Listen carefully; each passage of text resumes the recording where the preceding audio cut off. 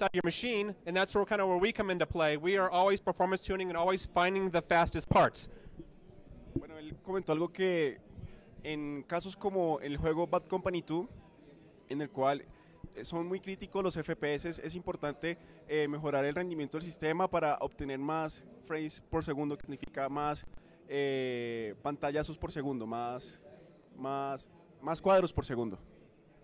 Okay, so today's demo is to give you an idea of what we go through. I'm sure a lot of you do a little bit of porn swimming, a little bit overclocking yourselves, but uh, most people here probably have no idea the extents that we go through.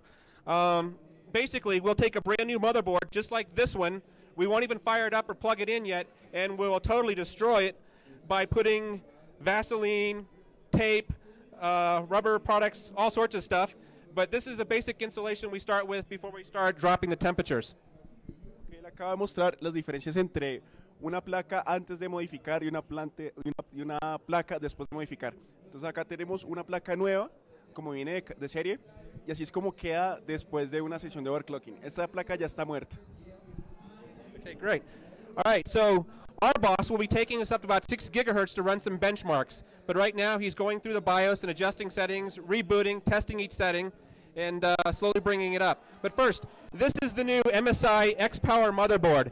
This motherboard is actually the newest offering from MSI um, to feature higher, more power, more PCI Express slots, Hola. and uh, one of the bigger changes down here is the OC Guru button. OC. Sí, Okay. It's kind of working here. Ok, lo que nos trató de explicar es, nos está introduciendo esta nueva placa de MSI, que es la X-Power, la board más reciente de aquí, de... ¿Aló? ¿Sonido? Hello, hello. Lo que nos estaba mostrando Charles era esta nueva placa MSI, la más reciente board X58.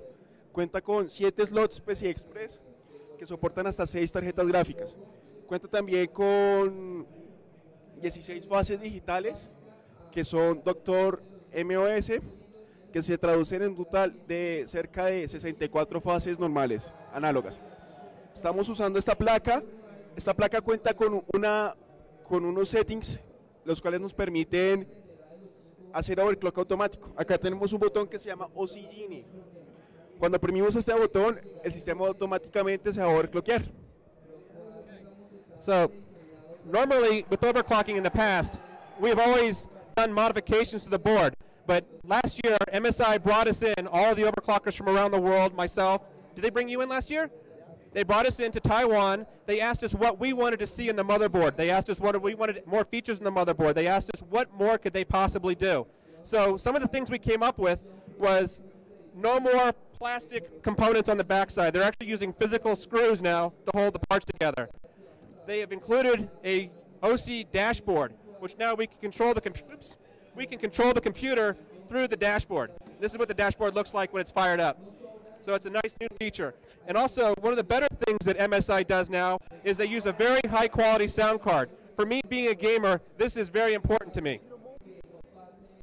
que lo que nos acabó de decir Charles es que eh, a comienzos de este año MSI nos invitó a Taiwán, a nosotros overclockers eh, de alrededor de todo el mundo, a que les diéramos eh, algunas sugerencias de cómo hacer una mejor board. Esta es la board que resultó después de que nosotros Hola, hicimos hola, esa sí, hola. reunión. Entonces nosotros allá Hola. decíamos a ellos que utilizaran eh, mejor en vez de, de pines plásticos utilizaran tornillos, de que mejoraran la parte de la energía, todo ese tipo de cosas. También nos comentaba algo acerca de este aparatico. Este aparatico es un OC Dashboard, lo que traduce que es una, como un control, el cual nos permite en, en directo modificar los valores de la máquina, nos permite modificar voltajes, nos permite modificar frecuencias, nos permite hacer muchas cosas en tiempo directo no tenemos que hacer como antes, que era modificar la board, eh, colocar ciertos arreglos de, de, de- de resistencias para subir el voltaje. No, ahora a través de esto modificamos los voltajes y hacemos todo este tipo de cosas.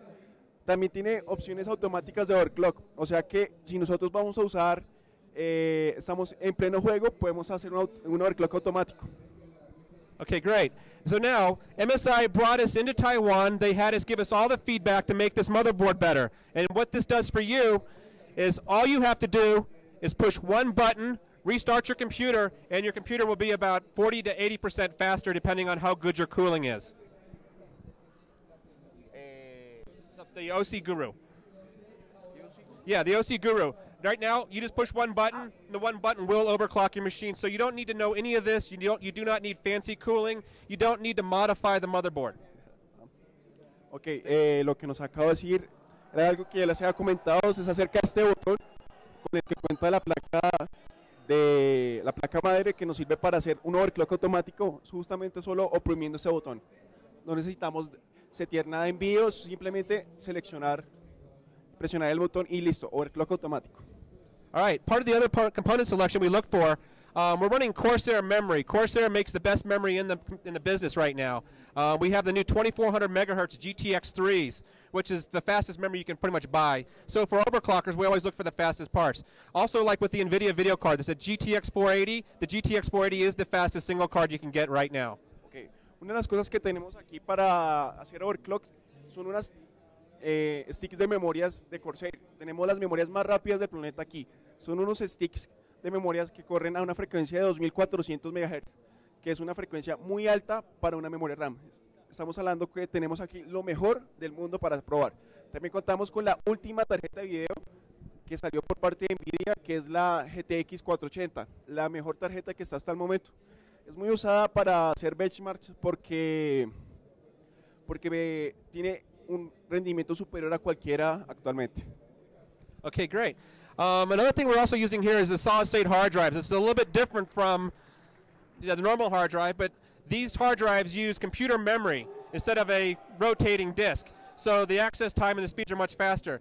So for example, your Battlefield 2 on your machine might load at about a minute or 45 seconds. On this drive, five seconds. So you can load a map in five seconds. What that means, you could be in the game, playing, running for your vehicle, your helicopter, whatever you need to do, get in your seat before anybody else does. So picking your right parts, getting your system performance up does help your gaming. The main thing is to keep the machine very stable, which our boss is still trying to work on now. Ok, lo que nos acaba de mostrar es este tipo de discos duros que son discos de estado sólido. No. Lo que pasa con estos discos es que no tienen ninguna parte mecánica. Con eso logramos más tiempos de acceso y más velocidad de lectura. Eh, eh, nos comentaba un caso en, en, un juego terminado llamado eh, Battlefield Company, que los tiempos de acceso utilizando un disco de, de, este tipo son menores. Entonces, pues, esto nos ayuda a que el sistema, cuando esté en overclocking, cargue más rápido. Esto es muy importante debido a que es muy apreciado el tiempo que estamos usándolo aquí y debemos aprovecharlo de la mejor manera. Okay, great. The last thing on our selection here is our power supply. Um, since we do bring the voltages up on our motherboard, and we have a very you know high-end video card that takes a lot of power, we always pick a you know a good solid power supply. Right now, we're running the Antec power supply at 1200 watts, which is a little bit bigger than we actually need for this system. But if we added more video cards, it would actually support more video cards nicely. Otra parte importante en un equipo de overclock es la tarjeta, es perdón, es la la fuente de poder. En este caso estamos utilizando una fuente de poder Antec de 1200 vatios. Eh, él nos comentaba que es un poco desfasada para el consumo de este equipo, pero con esta misma fuente podemos poner más tarjetas en, en, una configuración slide. Entonces es muy importante tener una buena fuente de poder de alta calidad para un sistema que se está overclockeando. Okay, great. Uh, I see our boss is having a little bit of trouble here with the brand new board. We just flashed the BIOS. We just set this board up, so he's he's not very familiar with it yet, but he's, he's giving it a good try. We should have been able to hit six gigahertz and run for our benchmarks, but uh, we'll try to hit that mark as well. Over the next week, we will be actually adding more video cards in. We're going for faster processor speeds, and we will going for world records. Okay, lo que nos estaba diciendo aquí eh, Charles es que estamos teniendo aquí problemas, especialmente Ronaldo está teniendo problemas con, con el, la configuración, puesto que nos tocó de última hora cambiar la board, setear nueva BIOS, ese tipo de cosas. Eh, pero muy seguramente a partir de mañana estaremos probando esta misma configuración con varias tarjetas gráficas al tiempo y intentaremos romper un récord mundial. Okay, great. Um, I guess that's pretty much everything on my list here. I was hoping we could be at 6 gigahertz and talking about the benchmark already. Uh, what can you get to, our boss? Can you do 5.9? Oh, more than six? Okay, great. So our boss says we will get over six. And, uh, okay, great.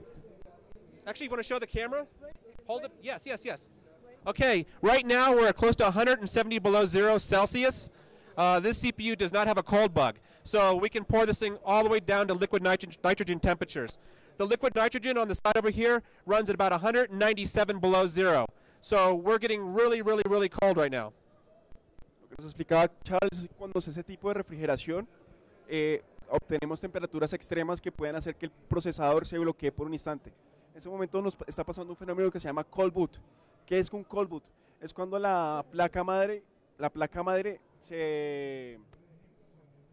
¿Alguien tiene un encendedor? Anybody got a light? ¿Nadie? Okay. Bueno, sigo, si- eh, sigo diciéndoles. Bueno, cuando estamos en estas condiciones tan extremas, suceden cosas como el cold boot y el. Cold boot es cuando la placa madre se niega a arrancar. Y cold boot es cuando el procesador alcanza una temperatura en la que ya no puede operar.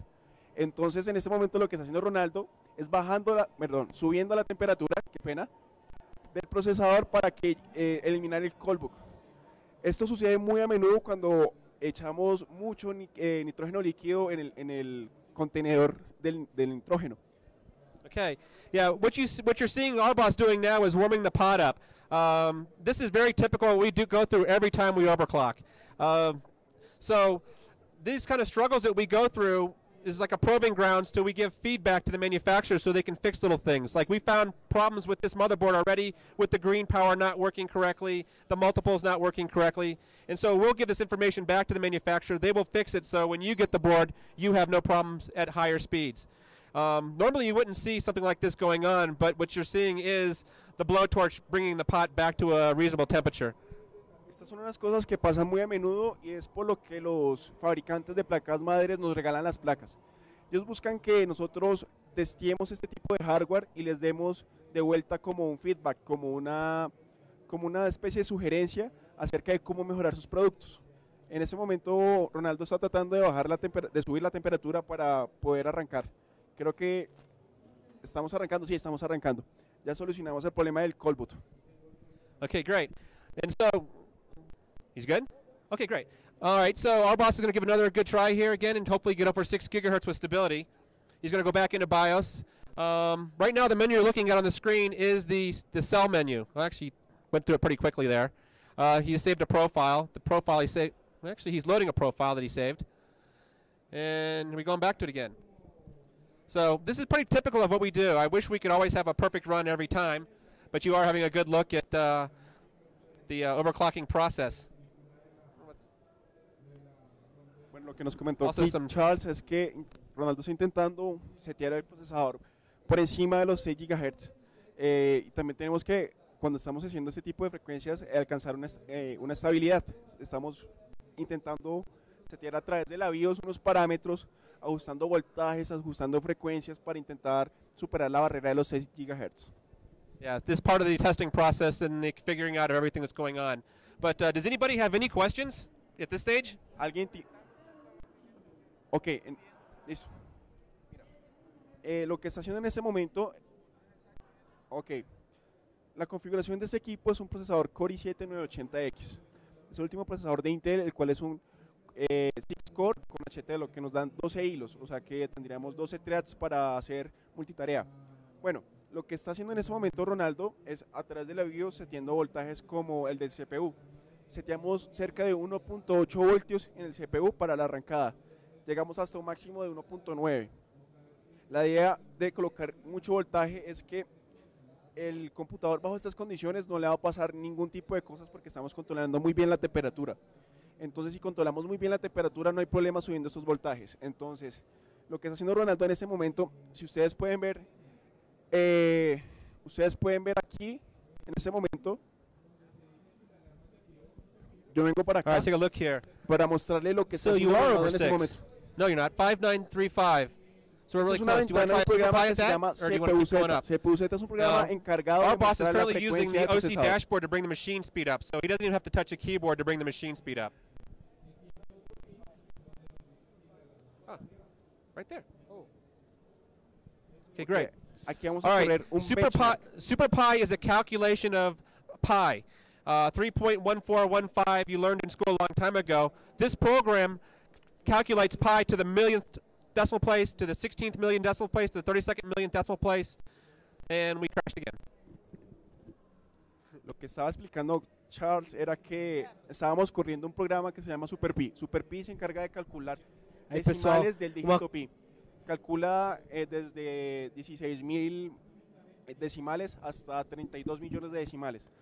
¿Qué pasa con esto? Este programa mide el rendimiento de, de la velocidad de un procesador. Lo que acabo de pasar es que cuando estamos en estas condiciones tan extremas, el computador se vuelve muy inestable y entonces perdemos eh, inestabilidad y se nos vuelve a apagar como fue en este caso. O Otra vez entramos en un fenómeno llamado cold boot, que el procesador alcanzó una temperatura muy baja y rechaza arrancar de nuevo. Yeah, I've tested this processor before. This is the 6-core, 12-thread X980 processor. I've had this processor down past 180 below zero and rebooted on a different board. So the problems we're experiencing right now are somewhat board related, and we'll actually go back to the manufacturer and let them know that we're having such issues, and hopefully they will be able to fix it in time. Lo que acabo de decir es que estamos probando un procesador Core i7-980, el cual tiene 12 threads y en el cual es capaz de hacer cerca de 6.6 en otras placas de, eh, de otras placas madres. Lo que hacemos en este momento es encontrar los problemas y cuando los encontremos después dárselos de vuelta a los, a los fabricantes de las placas para que ellos arreglen los problemas. Pero esperemos ahorita a ver si podemos arrancar con un benchmark sobre los 6 GHz. All right, so we just warmed up a little. É, oi pessoal, eu sou o Ronaldo do Brasil, é, amigo do Fugger e do Juan. Já tive aqui o ano passado. É uma coisa que é importante eu falar que acho que o pessoal esqueceu de, de comunicar para vocês é que o overclocking é uma arte que tem muita surpresa. É, muitas vezes a gente prepara todo um sistema, fica horas preparando e não consegue nada, resultado bom nenhum. E muitas vezes a gente de primeira consegue resultados muito bons, tá? Então quer dizer, a surpresa faz parte do overclock. Assim como acontecimentos que nem uma placa-mãe que não funciona, ou uma placa que acabamos de chegar a 6 GHz de primeira nessa placa. É, é uma marca muito boa, porque nós estamos com um processador que é difícil de subir, tá? E a gente tem certeza que nesses dias que a gente vai estar aqui, a gente vai mostrar coisa muito impressionante para vocês. Eu espero que o Juan saiba traduzir o que eu falei. Eh, ¿Entendieron? bueno, lo que él explicaba es que cuando hacemos este tipo de, de sesiones de overclock extremas, podemos, eh, no sé, tardar horas haciendo, seteando las características, las configuraciones y al final de la sesión no obtener ningún resultado. Pero como también eh, podemos obtener resultados desde la primera vez que arrancamos, es un arte, como él lo mencionaba, que no es exacto y que, y que no tenemos ninguna certeza de qué va a pasar. Okay, the other part of the issue right now is our boss is playing with a brand new chip that he's unfamiliar with. Um, he had a different chip on the system earlier that had uh, pretty good flexibility. Um, this one is not being as flexible as far as the B clock and the system stability when it's going up. But uh, hopefully he'll be able to work this out fairly quickly.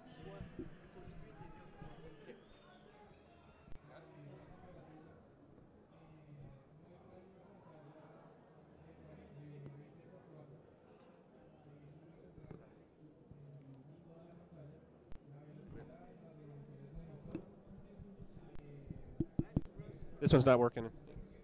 Ok, vamos a intentar a correr Super Pi, que es un benchmark, como les había comentado, que hace cálculos de, del número pi. Vamos a intentar una prueba que es de un mega, es la prueba más usada de este benchmark. O sea, vamos a calcular un millón de dígitos del número pi. Vamos a intentarlo a una frecuencia de 6 GHz. Vamos a ver cómo nos va. Frequência média em, fre- em original. A frequência, a frequência original da, da fábrica, este tempo seria mais ou menos 12 segundos. Around 12 seconds in stock. Lo que nos dijo Ronaldo es que con este procesador a una velocidad, de eh, una velocidad normal con la que el procesador viene, nos, dar, nos arrojaría un resultado de más o menos 12 segundos calculando dígitos del número pi. Eh, vamos a intentar a correrlo a 6 GHz, que es casi el doble de la velocidad del procesador. Vamos a ver cuánto tiempo va a bajar. Ese es el programa.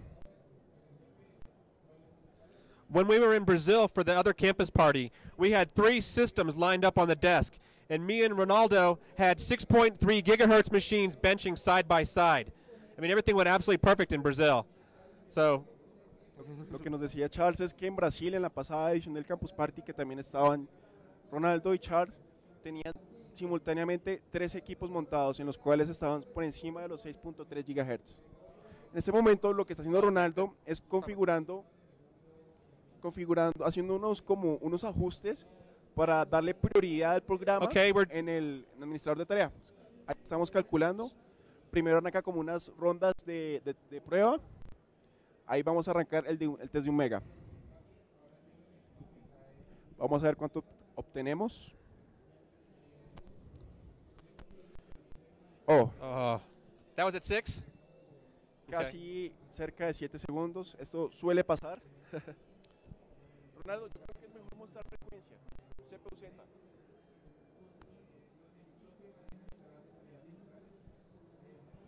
Lo curioso de esto es como, como, había comentado Ronaldo, podemos dedicar toda una tarde a obtener resultados excelentes y a la final, en la hora de la verdad, cuando estamos aquí mostrándoles a ustedes lo que, lo que hicimos toda la tarde, no obtuvimos nada. Entonces, es cuestión de suerte.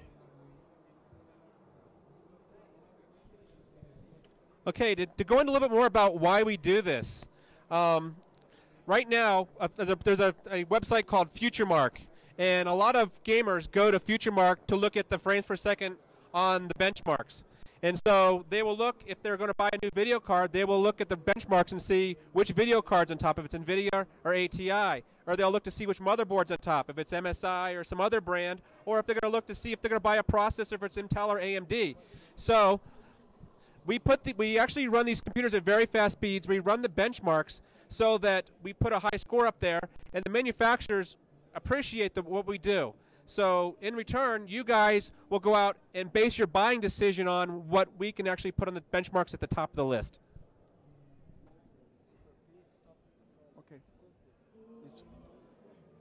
Lo que nos comentaba Charles es que muchos fabricantes de placas dan a, incentivan a los overclockers como e- son ellos, como lo es Ronaldo, como lo soy yo, dándoles placas para obtener los primeros resultados en los, en los rankings. Cuando obtenemos los primeros resultados en los rankings, ellos lo aprecian mucho porque es, un- es una herramienta de marketing los- lo que le ayuda a posicionarse en el mercado. Una board que arranque mucha, pues que una board que pueda soportar mucha frecuencia eh, va a tener más renombre y probablemente sea más vendida. Okay, great. So now that uh, these manufacturers recognize us and putting these benchmarks up, they recognize me, they recognize eKiller, they recognize our boss. So they provide us hardware to run these benchmarks and stuff, and they bring us into competitions around the world. Um, last year, and actually, was it last year we went to Taiwan? We met last year in Taiwan, no, Beijing. And so we got to go to the Olympic grounds in Beijing. Uh, last year I went to Taiwan. This year I went to Taiwan. Um, so we're always traveling around the world, which is a great thing. So it's in the best interest for the manufacturers to make sure that we have the best parts and the best things to run and multiple boards to back this up. So right now, even though we're having a little bit of troubles, we will work this out and we will be able to get like 6.1, 6.2, 6.3, 6.4, and 6.5 gigahertz off this chip. Ok, lo que nos comentaba Charles es que además de incentivarnos con dando- dándonos placas madres para probar y ese tipo de cosas, también hacen competencias en la que todo- todos nosotros, ustedes también los que hacen práctica en Overclock pueden participar en ellas. Los que ganan estas competencias van a, a reunirse a través del mundo. El año pasado fue en Beijing, donde nos reunimos varios overclockers eh, alrededor del planeta. Entonces, lo que comentaba él es que es una buena forma de, de ganar reconocimiento y viajar alrededor del mundo. Is there any more questions by any chance? ¿Alguno tiene alguna pregunta?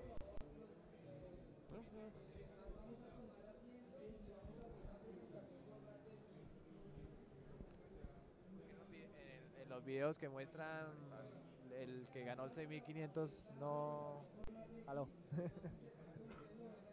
porque el que eh, los videos que salen en internet sale el de 6500 tiene más estabilidad y no se apaga como este Lo que nos preguntó él es que por qué en los videos que ve en internet, que por qué en los videos que ve en internet eh, están corriendo el benchmark a 6500 y no se apaga y aquí a 6000 se nos apaga. Bueno, eso es cuestión de suerte. Mucha gente posee procesadores los cuales pueden alcanzar unas frecuencias muy altas y pueden correr muy estables. En este caso estamos probando procesadores que acabamos de comprar, que nos acabaron de dar y todavía no sabemos con detalle cuáles son las características y cuáles son las configuraciones necesarias para, para alcanzar esa frecuencia. Probablemente al final de la semana vamos a alcanzar una frecuencia muy alta y estable, pero hasta ahora estamos, así- estamos eh, arrancando con esto y como les había dicho anteriormente, no es una ciencia exacta. ¿Alguno tiene una pregunta? ¿En, cua- en cuánto está el récord mundial de overclocking sobre estos procesadores? Actualmente, sobre ese procesador, la frecuencia más alta registrada es 6.9 GHz. Esto lo hizo un- un- una persona en Taiwán, pero ¿qué pasa? Esta persona ya tiene acceso a 100.000 boards, las que quieran, a 100.000 procesadores, a 100.000 fuentes, a- bueno, a gran cantidad de hardware. Entonces él se puede dar el lujo de seleccionar los mejores procesadores que alcanzan las mayores frecuencias. Entonces es muy difícil competir contra este tipo de personas porque ellos tienen acceso ilimitado a, a las partes. ¿Con qué, ¿Con qué procesador? ¿Con Intel o AMD logró el récord? Yo le había comentado de los 6.9 GHz había sido con este procesador, con un Core i7 980. Actualmente la frecuencia más alta de un procesador es la de un Pentium 4 que está a 8.2 GHz. Es la frecuencia más alta, pero fue con un procesador Pentium 4 de hace 3, 3 4 años.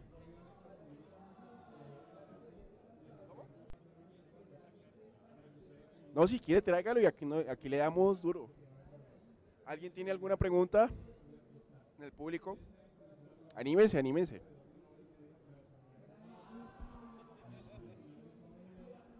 ¿Con qué material estás eh, aislando?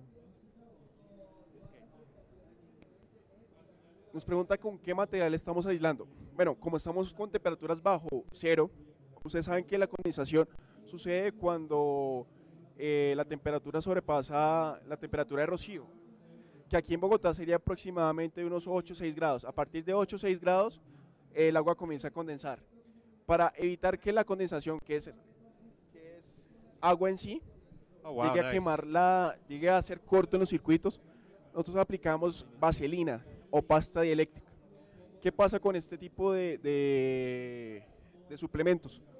Impiden de que, bueno, como el, el aceite y el agua no se mezclan, obviamente pues va a repeler el agua. All right. Adicionalmente estamos utilizando, Okay. ok, ok, bueno, también utilizamos limpiatipos, que es esta plastilina que ustedes ven acá, que es como gris, que sirve para hacer, para hacer la isolación. Bueno, que aquí estamos corriendo el bench Super Pi Mega. ¿Recuerdan cuánto les ha dicho que más o menos acaba en stock el procesador? 12 segundos, estamos casi eh, en 8.5 segundos. ¿Qué pasa en, est- en- en esto? Estamos utilizando un sistema operativo Windows 7 de 64 bits, el cual no nos permite lograr menos tiempo porque este bench corre mejor sobre XP. All right. All right. Looks like our boss found stability. So he was going in bias, as you saw, making different different changes, and so he made a change to the phase lock loop for the PL uh, the PLL generator for the CPU. So he brought the PL voltage up a little bit, and now he has much better stability in Windows. Que dijo Charles es que al parecer Ronaldo logró algo de estabilidad. Ya lo pueden ver. Ya lo, ah, ok. Ya lo pueden ver que logró algo de estabilidad. Ha corrido múltiples, múltiples instancias de- del, del programa. Simplemente eh, aumentando un poquito el voltaje del PLL. Logró la estabilidad. Entonces, como le comentaba, son cosas que, settings que todavía no sabemos y que estamos aprendiendo. Bueno, vamos en 7.8 segundos.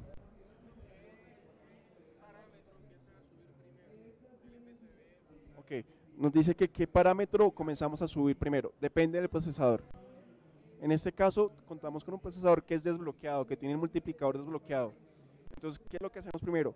Elevar el multiplicador hasta el máximo que podamos y a partir de ahí comenzamos a elevar lo que es la frecuencia, lo que es el FCB, que en, esta ar- arquitectura se llama eh, BCLK, Base Clock.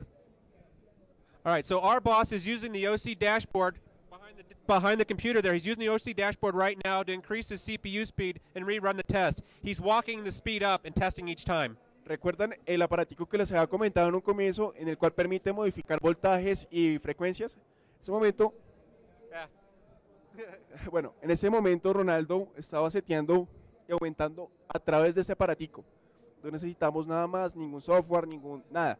Simplemente aumentando en tiempo real la frecuencia y el voltaje.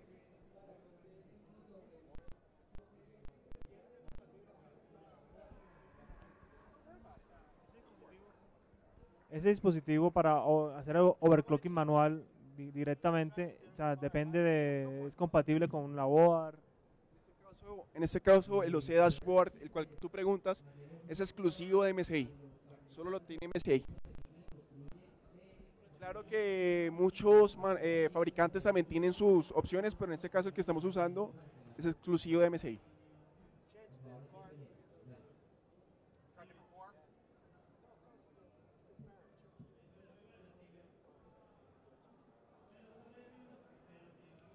Bueno, mientras seguimos acá, ustedes nos pueden hacer algún tipo de preguntas mientras Ronaldo sigue testeando.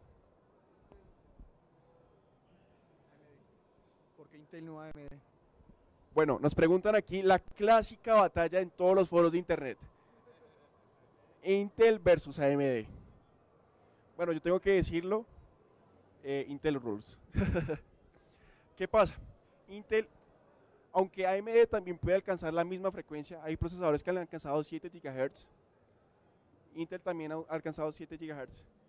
El mejor rendimiento lo da Intel, a la misma frecuencia. O sea, core, perdón, reloj por reloj, o sea, velocidad de reloj por, velocidad de reloj, Intel es más rápido. En ese momento Intel tiene el procesador más rápido del planeta y tiene el procesador con más cores. Entonces por eso es que escogemos Intel. Eh, los computadores portátiles, las boards y pues, los, dis- los dispositivos que tienen no están diseñados y no permiten hacer overclock por la temperatura y por la disipación de calor y todo eso. Pero, o sea, ¿qué se puede lograr en overclock? He escuchado, digamos, que hay gente que que le baja, en vez de subirle, le baja, digamos, al video para cuestiones de temperatura y ahorrar batería. ¿Qué se puede lograr en computadores portátiles? Bueno, en, bueno, en computadores portátiles, lo que tú dices, es diferente el enfoque. Nosotros buscamos en computadores portátiles más durabilidad de la batería y, y mayor movilidad. Que no estemos a cada rato conectados a una toma porque se nos acabó la batería. En el caso de los computadores portátiles, podemos hacer eh, overclock utilizando programas por software pero no es recomendado puesto que ya la, están diseñados a funcionar a determinada temperatura. Lo que se hace comúnmente es hacer lo que tú dices, undervolting y under, underclocking. Undervolting es bajar el voltaje de operación para así salvar energía y que el procesador opere a la misma frecuencia, pero con menos voltaje. Underclocking es bajar la velocidad del procesador para que consuma menos corriente. Muchas veces no necesitamos tanta potencia. Aquí hay gente que compra procesadores para jugar y realmente no se necesita eh, corriendo 6 procesadores a 3 GHz. Es un...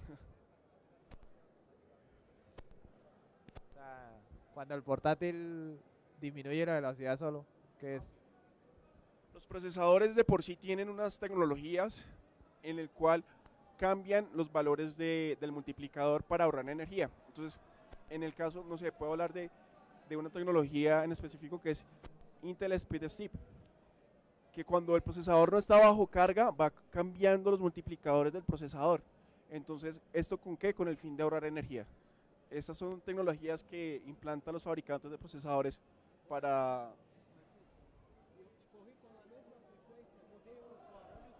Ok. Ok. Eh, qué pena contigo. Entonces, eh, son tecnologías que aplican los fabricantes para reducir el consumo de energía cuando el procesador no está bajo carga. Acaba Ronaldo de decirme que, eh, bueno, estábamos ya en 7.8, 7.6 segundos. Simplemente es una modificación al un core, lo que da más rendimiento y ya logramos, eh, logramos que puntajes por debajo, por debajo de 7 segundos. Debemos recordar que más o menos el puntaje de Super Pi, el récord mundial, está en 5.9 segundos. Estamos ya por debajo de 7, ya estamos casi cerca, por un segundo de diferencia de esta, de esta frecuencia.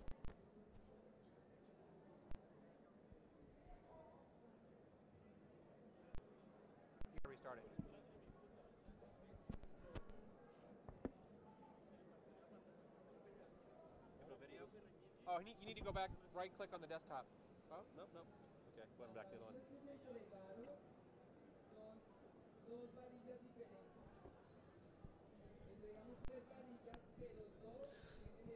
Working with Intel over the past 10 years, uh, one of the things we've been working towards is making the Intel processors more indestructible, meaning that we can give these things a lot of voltage, we can drop them on the floor, we can do really stupid things by getting them wet, and uh, you name it, you know, sticking screwdrivers into the power. Um, so these processors are very, very, very hard to hurt. So what uh, what uh, our boss is doing right now usually won't have any effect on the CPU um, unless something drastic happens, like the power supply explodes. Que lo que nos explicó Charles es por experiencia propia, lleva más de 10 años trabajando con procesadores Intel y él nos dice que a través de los años los procesadores Intel se han vuelto más indestructibles. Eh, le estamos aplicando voltajes que hace unos años eh, hubieran matado cualquier procesador. En ese momento esos procesadores se pueden decir que son casi inmortales. Okay, so now our boss is back in the BIOS again, trying a little, fiddling with a little more settings. Um, as you can see in the BIOS setup, we have a lot of adjustments in here, so that uh, we can adjust pretty much anything on the on the system itself. So our main point of failure right now is inside of the, the, the BIOS settings. Bueno, en ese momento Ronaldo se encuentra modificando valores de parámetros de la BIOS eh, para mejorar el performance del, del, del programa. Estamos esperando a ver cómo resultan los nuevos parámetros, a ver si nuestra máquina vuelve a arrancar. And so right now, our boss is working out, is finding the limitations of the motherboard and working around them the best he can. This is normally what we always do with every new motherboard. This motherboard's only been out a week, so I mean, as far as really nobody's seen this motherboard or overclocked with motherboard, this is probably his first time with his hands on this motherboard. So, reverse engineering what we get in our hands is what we do. Ok, lo que nos acaba de decir Charles es que hace una semana que salió esta placa madre y es muy difícil saber los parámetros de, primera mano. Entonces estamos aplicando algo de ingeniería reversa para, con los conocimientos que teníamos previos con otras placas madre, ajustarlos a más o menos a lo que a las necesidades de esta placa madre.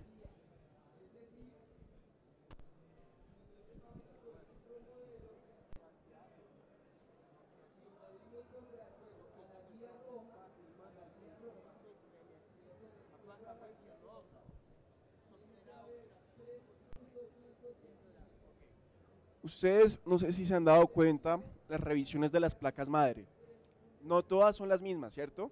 Hay revisión 1, revisión 2, revisión 3. Esto podemos decirlo y podemos decirlo que es gracias a nosotros overclockers. ¿Por qué? Porque nosotros estamos en contacto permanente con los fabricantes de placas madre y estamos a cada rato enviándoles sugerencias para mejorar sus productos. Entonces, cada tiempo, cada tanto tiempo están modificando sus placas para hacerlas cada vez más mejor y más mejor y menos peor. Yeah, we just have to short two pins. Okay, so this we have a thing called a cold bug mod for motherboards, and what it requires is actually locating a pin on the socket of the CPU and tracing it back to the to actually on the motherboard itself, and we actually short it out so this doesn't happen. This motherboard was not modified for cold bug. Bueno, en algunas placas se pueden hacer unas modificaciones para el cold boot, que significa que se traduce en deshabilitar el feedback que tiene la board de, de- del monitor de temperatura. Simplemente se hace un puente entre un pin de los 1366 pines que tiene este procesador, se hace un corto con tierra para evitar de que la board sea capaz de leer los valores de temperatura. que es lo que usualmente pasa. Ah, bueno, aquí nuestro amigo Cone tiene una pregunta. ¿Eso quiere decir que el callbook no es problema del CPU, sino de la motherboard? Es correcto. Es correcto. Como he explicado en un principio, existen dos términos, cold boot, boot y cold book. Right. Bueno, el primero es dependiente de la board y está seteado por, pues depende del fabricante. Y el cold book es dependiente del procesador. Entonces tenemos dos valores diferentes de, de errores que nos sacan cuando alcanzamos temperaturas muy bajas. All right. Why this pin is so important? Um, this pin is what registers the temperature for your CPU. If you're running on a heatsink with air, you don't want your CPU going to 100 degrees. So this this would prevent your motherboard from going to 100 degrees because it would shut your motherboard down. But the problem is the motherboard can't read 160 below zero, so it's giving an error message. When it goes into the error message, it won't let the machine boot, thinking there's something else wrong. Como les había comentado, en- cuando ustedes están overclockeando por aire, eso es una, como un límite que colocan los fabricantes para que cuando alcancen cierta temperatura la board se apague y no se vaya a quemar, para que no poner en riesgo el procesador.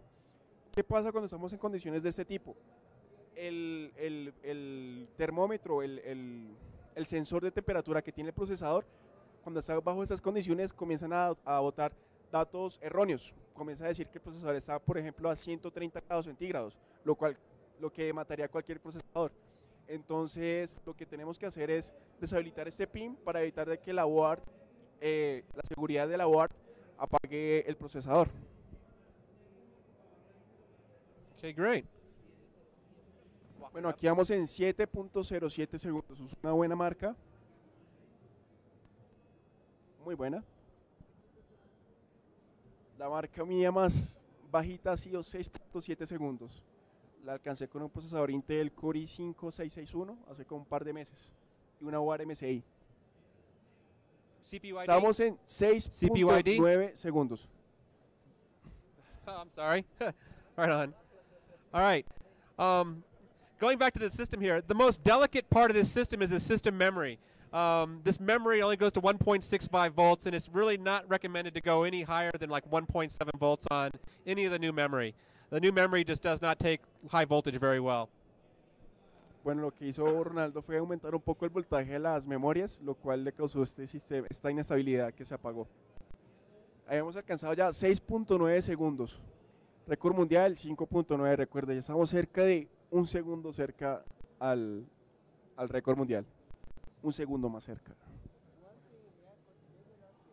¿Yo? Sí, yo, sí, sí, sí. Como les comentaba, tengo un récord de 6.7 segundos. ¿El tuyo es de 6.28? Uf. Bueno, vamos a ver. So far in all these tests, our boss, how fast have you gotten the machine up to? 6.1? 6.0? How fast? 6.1? 6.0. Estamos a 6 GHz. All right, he's back on the uh, OC dashboard again, bringing the machine speed up.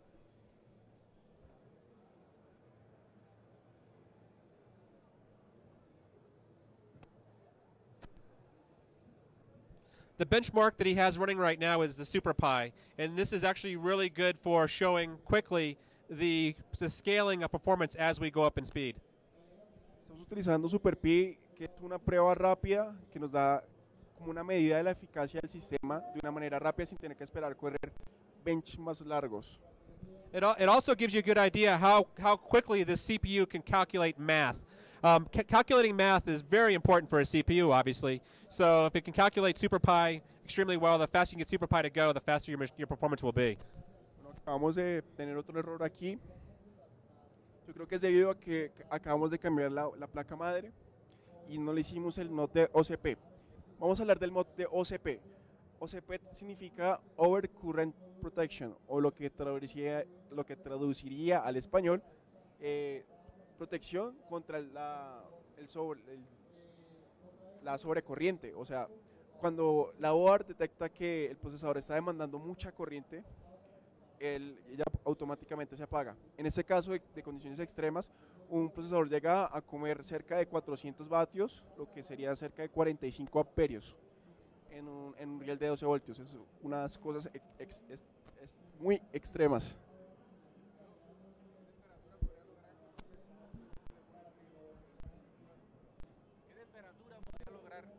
¿Qué temperatura podría lograr ese procesador sin nitrógeno líquido? Hay personas que en aire han alcanzado cerca de 5 GHz. En aire. Ah, temperatura. En este procesador cerca de unos 80, 90 grados, si no se tiene una buena refrigeración y se está overclockeando con altos voltajes. Ah, no, a esta, no, partamos del hecho que a esta velocidad no se podría, sino en, esta, en este tipo de, refrigeración. O sea, con ningún tipo de refrigeración podríamos alcanzar esta velocidad. Entonces, si hacemos un paralelo, de, si tuviéramos este procesador a 6 GHz en aire, estaríamos alrededor de los 160 grados. Ya se hubiera quemado hace rato. ¿A qué temperatura se quema ese procesador? Eh, Intel tiene unas especificaciones que dice que a partir de menos 110 grados, este procesador entra en riesgo de dañarse. La mayoría de boards se apagan a los 100 grados, pero el límite máximo es 110.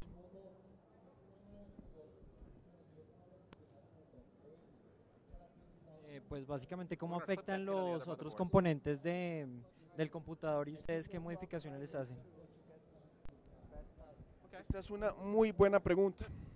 Todos pensarán que el overclocking es acerca de solo procesador y, y ya. No, realmente para alcanzar un buen overclocking se tiene que encontrar un balance entre buenas piezas. Entonces, para hacer un buen overclock tenemos que contar con las mejores memorias, con, las mejor, con la mejor placa de, de madre que tenga una buena regulación de energía, con ese tipo de cosas. Entonces, en general, es importante tener un equipo que sea muy balanceado y que, y que tenga muy buenas características cada componente que lo integran. Es decir, unas muy buenas RAMs que alcancen unas muy buenas frecuencias a bajas latencias, una buena placa que tenga una placa madre que tenga buena regulación de voltaje y, una, y, un- y lo más importante en este overclocking, tener un procesador bueno. Ah, bueno, les comento esto de tener el procesador bueno. Existen cuando los fabricantes hacen los procesadores, les dan como un número de lote, por así decirlo. Eh, los overclockers probamos estos procesadores y damos nuestro feedback para que otros overclockers eh, hagan sus pruebas en casa. Eh, sabemos por experiencia de otros que si un procesador es igual a, es el mismo lote, tiene el mismo ba- batch, es posible que alcance la misma frecuencia que otros, de otro que es idéntico. Entonces, en la comunidad nosotros compartimos nuestras experiencias diciendo, bueno, con este procesador de tal lote alcanzamos esta frecuencia. Eh, ¿Alguien tiene alguna pregunta?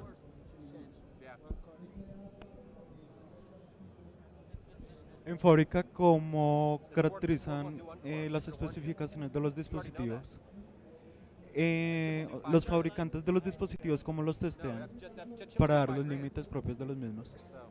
Bueno, esto es una parte en la cual yo no podría darle con certeza una respuesta, pero voy a intentar hacerlo. Los fabricantes tienen un departamento de gestión de calidad. Todos los productos que ellos salen tienen que cumplir, cumplir unos requisitos de, calidad y unas normas que dan ciertos gobiernos o ciertas instituciones. Entonces ellos bajo estas reglas de calidad se rigen para hacer las pruebas. Entonces eh, hacen sus pruebas en sus laboratorios y determinan eh, las, la- las, los ¿qué? Determinan las, las condiciones o los parámetros a los cuales tienen que operar sus, dispositivos. Eso es dep- dependiendo del fabricante y, de qué tan bueno sea su gestión de calidad en la empresa. Entonces, a más calidad de un fabricante, tenemos condiciones de operaciones con un mayor rango.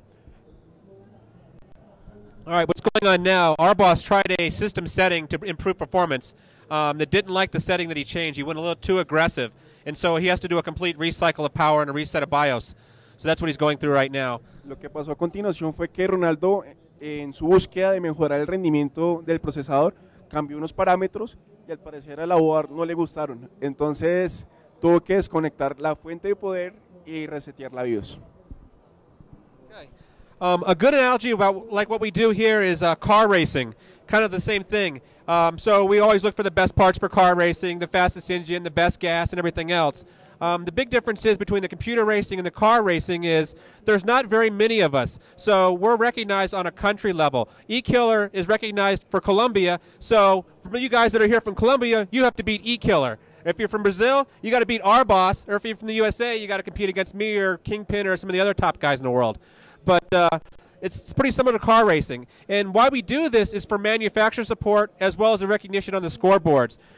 The- main thing we want with the, the manufacturer support is free hardware. Who doesn't want free hardware? But you have to compete at a very, very, very high level to, to achieve the success and the notoriety that we get. que lo que nos acabo de decir es un, como un paralelo entre un piloto de carreras y nosotros. Eh, cada persona que está aquí ha ganado un estatus en su país y, y ha sido como reconocido como uno de los mejores overclockers o practicantes del overclock. ¿Esto con qué? ¿Por qué buscamos este reconocimiento? No es que yo quiera buscar la fama, no es porque Ronaldo quiera ser famoso o tener muchas mujeres, como, como podría pasar. No, simplemente hacemos o nos queremos ganar este estatus para que los fabricantes de boards nos provean productos, tarjetas de video para testear. All right. So as your country, as you get noticed, you're recognized in your country, um, things start to happen. Manufacturers will want you to run their product. So if you're running an MSI board really high, then you're going to have Asus coming knocking on your door. Or you're going to have uh, Kingston knocking on your door. Um, for the individual country records, a thing called Hardware Bot where they keep all the rankings per country. So now, if you get at the top of your country rankings, you're going to start going to competitions around the world. And that's one of the things that I favor the most is actually all the travel and doing things like Campus Party. I was just in Brazil. I was just in Holland. I was just in uh, Michigan. I was just in Taiwan. I was just in Beijing. So for me, you know, I have a fairly comfortable life uh, overclocking, pushing computer performance. It's kind of nice. Bueno, se me olvidó, ya estoy un poco cansado, pero lo que trato de decir es que cuando ganamos ese tipo de estatus, eh, no somos ya nosotros que buscamos a los fabricantes para pedirles partes o pedirles su apoyo, ya son los fabricantes los que van a tocar a nuestra puerta a decirnos, oiga, usted es tan bueno que le va a prestar esta board, usted es tan bueno que le va a prestar este procesador, usted es tan bueno que le va a prestar esta tarjeta de video, para que usted intente seguir rompiendo récords mundiales. Cuando se está en este nivel tan alto, de de- de estatus, por así decirlo, eh, viaja alrededor del mundo a otras campus parties, a otros eventos de overclock y es, como lo decía él, es una, es una forma, una forma de satisfacción personal.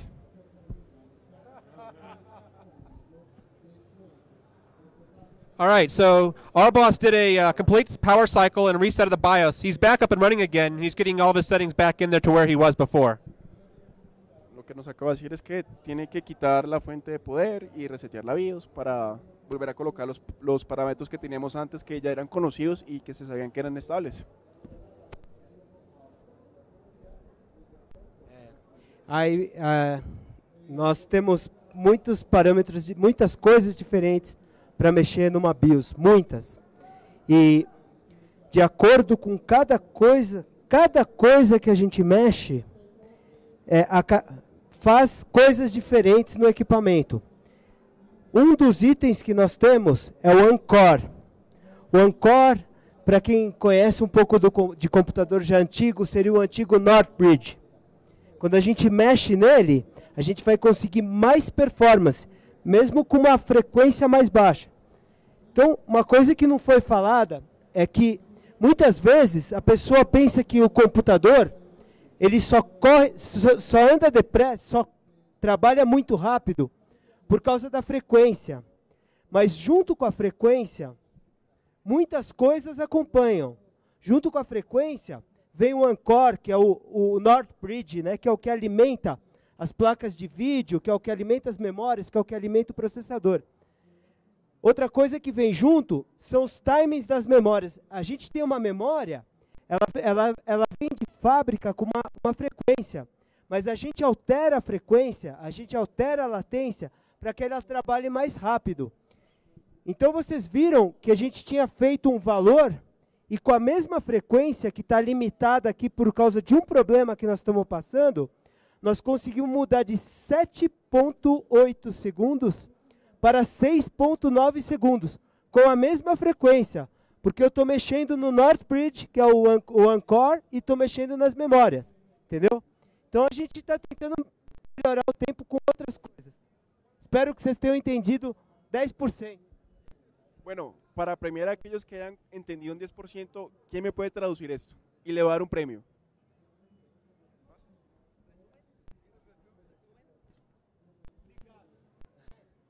Eh, en resumen, lo que Ronaldo acaba de decir. En resumen, lo que Ronaldo acaba de decir es que a la misma velocidad del procesador, simplemente tuneando algunos valores eh, en el BIOS de la OAR, podemos lograr un rendimiento superior. Básicamente es junto al sistema generalmente existen otros buses como lo es el Norwich que actualmente es el mismo Encore. Entonces se acaba de ganar un premio.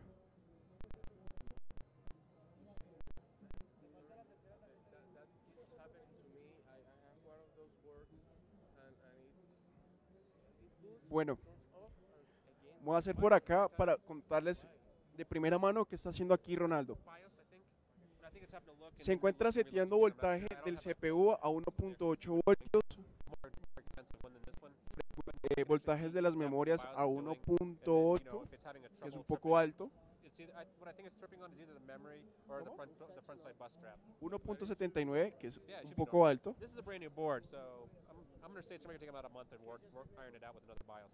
Bueno, como les comentamos, Ronaldo está en la búsqueda del rendimiento. En ese momento ya como ya sabe los, los parámetros de las frecuencias, del de ese tipo de buses, ahora se encuentra en la, for- en, en la parte en la que aprieta las memorias, las pone a andar más rápido. Esto nos da un poquito más de, de- de rendimiento en este tipo de, de programas como lo de Super Pi. That's okay. This is this this is what we go through. All right.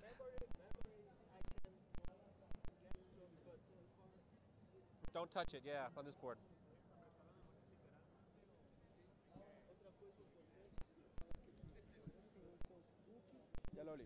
So, as we go through this, this machine and we find all the issues with the BIOS, we will give this information back to MSI Corporation. It usually takes MSI a day or two or three to start working these bugs out and start feeding us back BIOSes for each one of the little fixes. Um, some of the things that on this board that should be working correctly are like the uncore. This chip will do a five five gigahertz uncore, but right now, if I even touch the uncore setting, the machine won't even boot at all.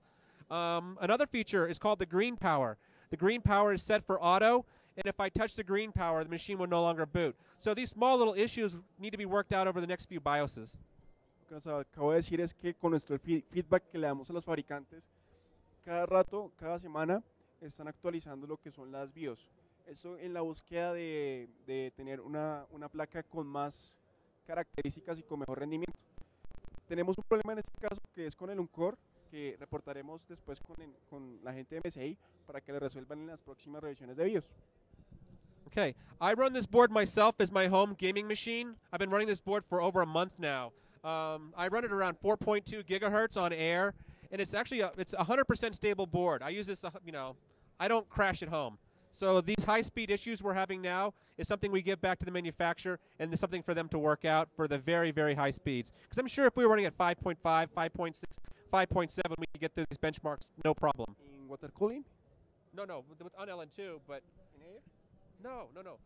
This the the problems that we're having right now um, will be fixed with a BIOS update, or maybe when we switch boards tomorrow, we may have better luck with a different board if there's something physically wrong with this board. So right now we're working with very, very, very new hardware, trying to figure work our way past the small bugs. Ok, lo que nos- Bueno, esperen. Aquí Ronaldo acabó de apretar las RAMs. Estamos corriendo Super Pi. Estamos mejorando el puntaje. Ya vamos en 6.96 fue la vez pasada. ¿Qué hizo Ronaldo ahorita? Apretar las memorias, subir el- la frecuencia de las memorias y bajar la latencia. Vamos a ver si da resultado. Complementando un poco lo que decía Charles, es que la board es muy fuerte en equipos de gaming, que personalmente la tiene en su computador, la tiene overclockeada a 4.5 GHz y que no haya tenido la oportunidad de probarla en estas condiciones.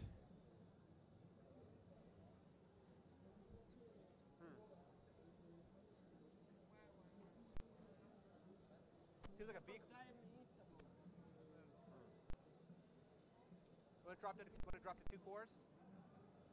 Drop the two cores. Bueno, aquí Charles le acaba de, de dar una sugerencia a nuestro amigo Ronaldo que trate de desactivar los procesadores. SuperPi es un programa que no usa todos los, todos los, los cores del procesador. Entonces va a intentar desactivarlo y dejar solo dos cores para intentar alcanzar una frecuencia más alta.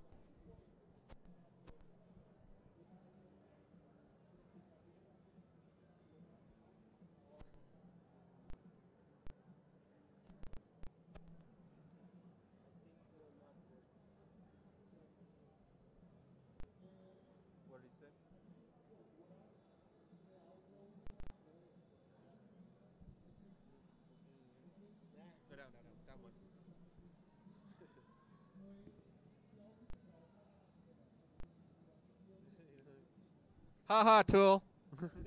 We're actually reading on the forums what you're saying here. Eh, como tenemos traducción, bueno, no, qué pena, tenemos streaming, nos están viendo desde todo el planeta. Todo el planeta nos está viendo en ese momento y estamos aquí revisando unos foros en internet y están, se están burlando de nosotros porque les parece chistoso la forma en que yo traduzco lo que está queriendo decir. If everybody, if everybody can wave to the camera real quick, we have a bunch of viewers out there. Oddly, they're, they're responding back here too.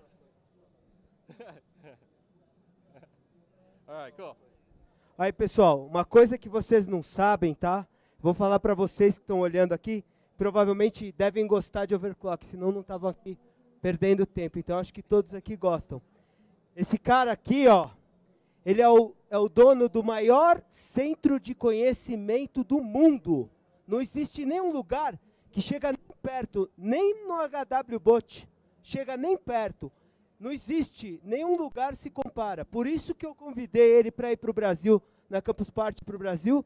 Ele não só é um grande overclocker, como é um cara muito nota 10. é, no Brasil a gente fala um, um cara muito legal, a nice guy.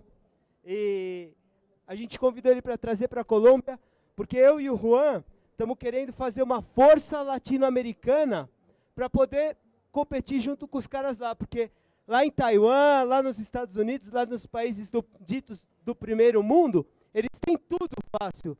E a gente aqui tem pouca coisa. Então nós estamos lutando para trazer isso.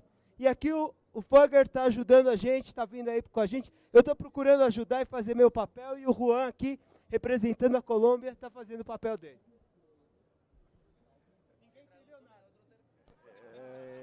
He's speechless. Sí, sí, sí, sí. ¿Quién se quiere ganar otro premio? Por favor, traduzcanos lo que nos dijo nuestro amigo Ronaldo. Bueno, lo que él trataba de traducir era que, lo que él trataba de decir, eh, yes, yes. Ok, ok. lo que él trataba de decirnos es que eh, tratan de hacer una unión aquí con él, que vamos a trabajar en conjunto en Latinoamérica para competir contra los países de primer mundo, ¿sí? O sea, aquí en Colombia se sabe que se ha trabajado muy poco acerca del overclocking y, y entonces necesitan hacer una fuerza. Están haciéndola en conjunto para poder trabajar y competir en las grandes ligas del overclocking para que nuestro país y toda Latinoamérica tenga un ranking mejor y tenga mejores opciones. Ah, sí, que, que sí, que era una de las mejores personas que lo había que él es una persona increíble y tiene un gran conocimiento acerca del overclocking y que lo ha buscado. Que es dueño por eso de la información más grande. Claro. Del overclocking. Sí, correcto. Me dio premio. Quem conhece overclock, who knows overclocking, Extreme, extreme Sense. Correcto. Gracias. I told to the people, you are, Ah, bueno, bueno. you are the owner of the, the Biggest the site. biggest uh, knowledge, the knowledge uh, on the internet. uh, site in the world, okay? And you are a nice guy, and you come to Brazil and come to Colombia to help us to turn uh, uh, uh, very good overclockers too, okay? I don't know if you understand, but I understand my, my Spanish is bad, my English is bad, And my Portuguese is bad.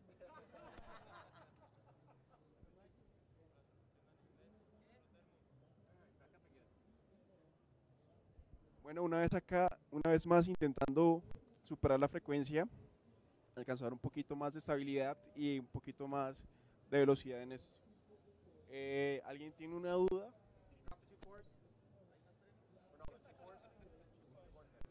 Eh, sí, sí, sí, hay más.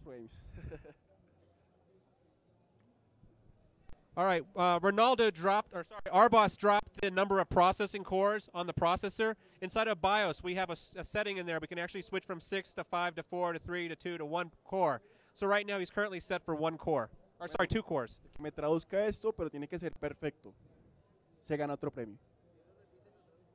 No, no, no. Sí, no, no, no. No vale repitis. No vale repitis. No. Que si Oh, I'm sorry. Okay, inside of BIOS, inside of the MSI BIOS specifically, uh, we have an option to set the number of cores that are active. So I can disable cores inside of BIOS. ASUS BIOS, for example, you can only you can only enable two cores. You don't have the three, the four, the five.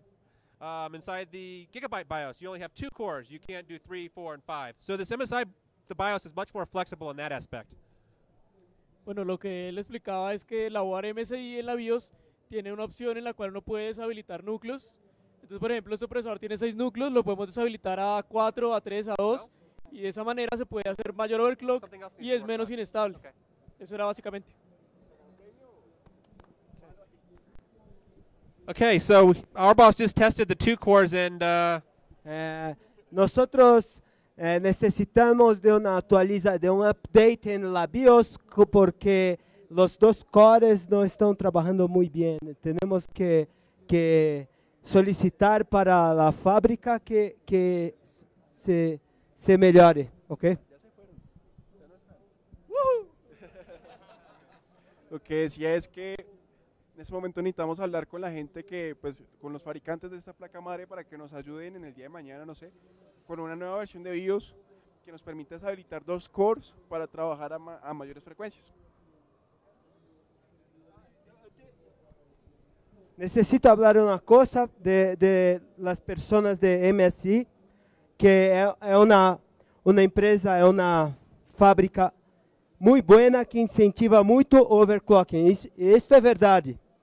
Eh, eu, eh, Fugger e Juan estivemos em 2009 em Beijing, Master Overclocking Arena, e depois em Taiwan para Overclocking Elite Summit, que que MSI patrocinou. Eh, o que aconteceu que em la competência, eh, as pessoas, os engenheiros de MSI, corrigiram os problemas de la BIOS no meio da competência. Estávamos fazendo a competência e eles corrigiram o problema la BIOS e nos deram no meio da competência. São pessoas que gostam muito de overclocking aj- e ajudam bastante. Espero que possam nos ajudar. All right, we're picking up more views as time going on. Uh, got Goat Eater out there. Goat Eater's top one of the top guys in the U.S. So right now I have a, uh, a link on my site that does the campus party thing, and we got a bunch of viewers. There's a couple of hundred or even a thousand viewers out there now. Lo que nos quiso decir es que colocamos un link en la página de Future, que es Street Systems, donde en este momento se están viendo muchos overclockers y muchos aficionados a la tecnología desde Estados Unidos y la están pasando muy bueno, según podemos ver acá. Yeah, they ex- they expect us to get some really high results on this board, and uh, you know, as the days goes on, we will be adding more video cards and actually trying different CPUs and working out the small bugs to get the top scores. We know it's possible. We're going to get there. Nos acaba de decir que eh, nos están, están esperando mucho, eh, tienen muchas expectativas de que rompamos muchos récords mundiales con estas placas que tenemos. Igual tenemos más de seis días, por, perdón, cinco días por delante para seguir probando, entonces están esperando que rompamos algún récord. Principal, a gente preparou uma placa gráfica especialmente para cá. Ela tem muitas modificações, acho que algumas pessoas já viram a gente fazendo ali. Ela deve estar muito forte. Vamos testar ela amanhã. Espero que tenha gente aqui para ver. Es posible que logremos un récord mundial porque nuestro amigo Ronaldo ya modificó una tarjeta al límite y es posible que en el día de mañana rompamos algún récord. Al menos alguno suramericano. So, our boss, were you able to were you able to bench at six gigahertz at all yet? Ronaldo, have you hit six gigahertz and benched at six gigahertz yet? Oh, okay. So our, our, our goal for today was six gigahertz. We wanted to stay fairly safe and uh, had an easy run today, but obviously the machine did not cooperate like we wanted to. But at least we hit our six. Eh, hemos estado a una frecuencia sobre 6 gigahertz para estar con eh, seguros de lo que estamos haciendo. No estamos tratando de forzar al límite, puesto que nos tiene que durar más de 6 días el procesador y ese tipo de cosas.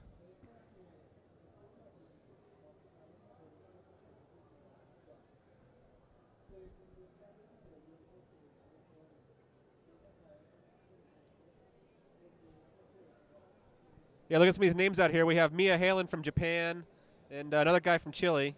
Yeah. A lot of people I recognize.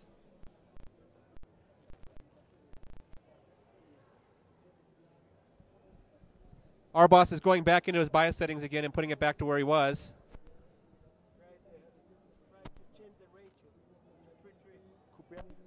Ah, no. Multiplicador.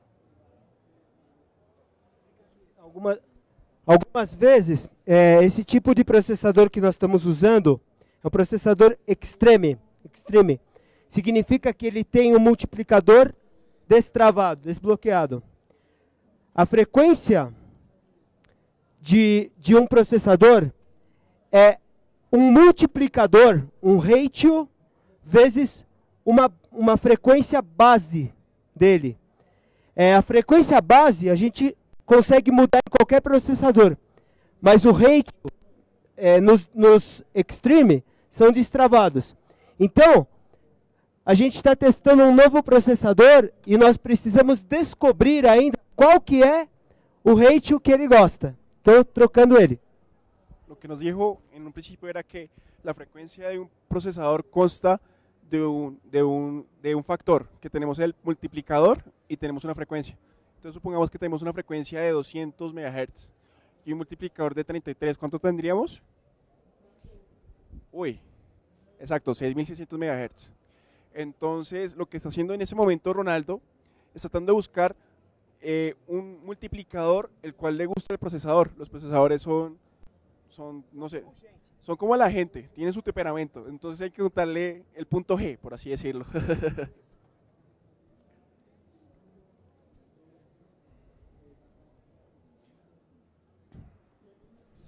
All right, what's he doing here now? He changed the Multiple? yeah, All right. and he lowered the the ratio to. But he's at 4 to 53. gigahertz. Yeah. That's a long way. Wa- that's a long walk, and you'll never step over 180. You'll never step over 180.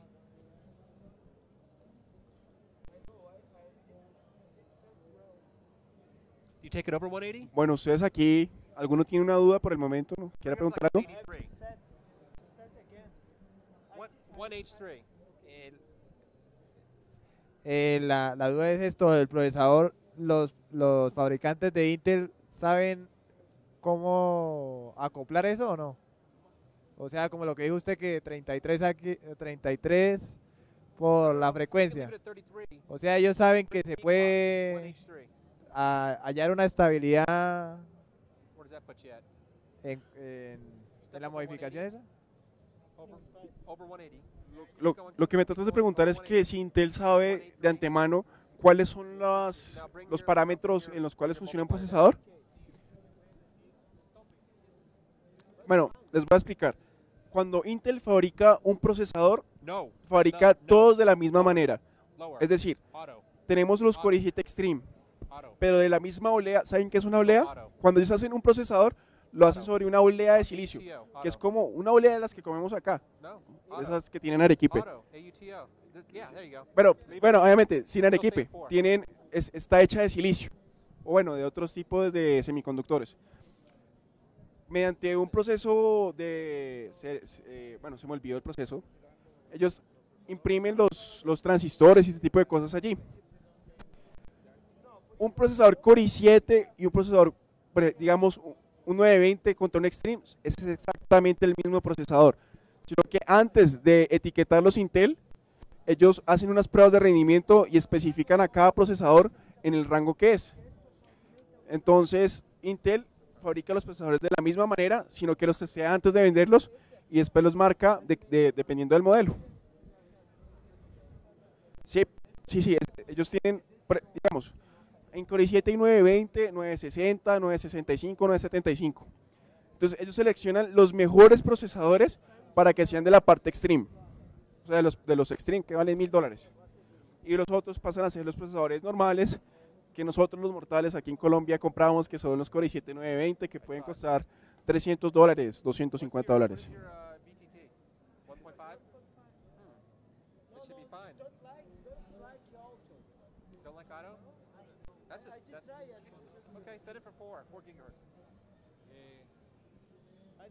Sí, lo que quería preguntar,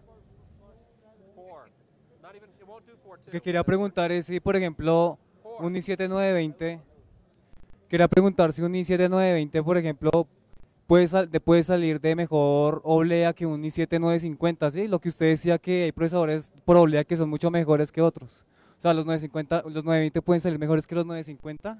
¿Puede, dar, puede puede darse ese caso que el 920 overclockee más? Al principio yo había explicado lo que eran los batch.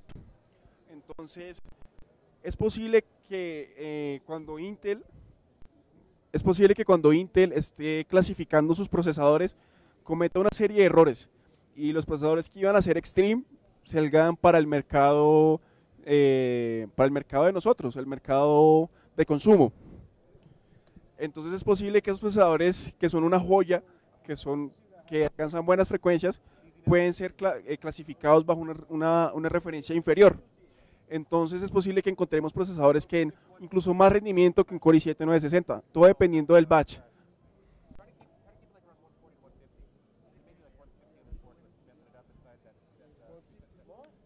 Yo tengo una pregunta, eh, más que todo, nosotros que pues hasta ahora, pues para mi conocimiento el overclocking es muy poco, eh, ¿cuáles son las primeras actividades que pues nosotros debemos hacer pues para tener más o menos el reconocimiento? Para los iniciados en el tema, primero, ganas. Segundo, dedicar mucho tiempo a leer foros en internet. Nadie nace aprendido, Ronaldo no nació aprendido, Future tampoco, pareciera, pero no. Entonces, tienes que dedicarte mucho tiempo a buscar en la red las experiencias de las demás personas, lo que han tenido, y a partir de ahí crear conocimiento propio y aplicarlos en tus, en tus piezas. Eh, lo que te recomiendo en primera instancia, siempre cuando se va a hacer overclock y se quieren alcanzar mayores frecuencias, se tiene que mejorar el sistema de refrigeración. Entonces, por- si vas a comenzar con esto del overclocking, lo primero que tienes que pensar es cambiar tu sistema de refrigeración. Eh, necesito un, encendedor. ¿Alguien tiene un encendedor? Ah, no, no, no, ya, ya, gracias. Ok, ¿alguien tiene alguna pregunta? ¿Qué tan importantes son los discos duros en overclocking? Aparte pues de reiniciarte más rápido para que puedas retomar. En realidad eso es bastante importante. Cuando estamos en estas condiciones extremas, los componentes de las máquinas, el procesador, la board, todo está en riesgo. Y ese minuto que podamos salvar mientras el computador botea es muy valioso. Entonces, en realidad sí es importante tener velocidad en el disco, pero no es una cosa que sea eh, necesariamente im- importante. Entonces, es, es sería bueno tener una buena velocidad de carga del sistema operativo, pero no es del todo necesario.